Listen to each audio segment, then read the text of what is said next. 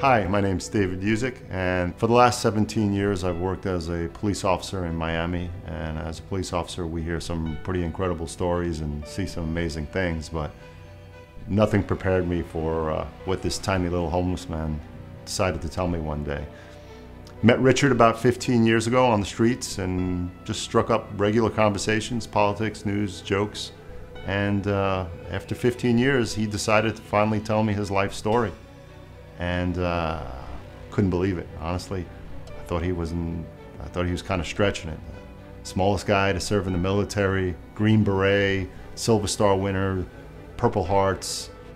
It just seemed too incredible to be true. So uh, I fact checked him and made sure uh, everything he told me was true, and it was. So I asked Richard, could we do a documentary on his life, and he agreed.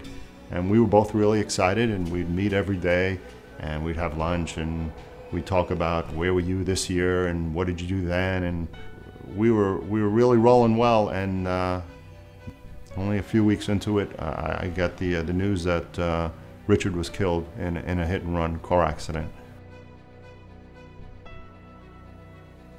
Richard's life is just filled with mysteries. Uh, working undercover with the ATF, which was uh, actually something he asked that we shouldn't go into. He, he was actually worried for my career and my personal safety. It, it's his life story, and he wasn't afraid, and I'm not going to be afraid. So, uh, wherever this investigation leads me is where I'm going to go. He was, uh, he was a sinner and a saint. He, he was a hellraiser, and uh, he lived an incredible life, and that, that's what I want to know. I have so many questions now that I want answered. We're planning on driving across the country, interviewing numerous people, doing reenactments, and uh, it's going to be a wild ride.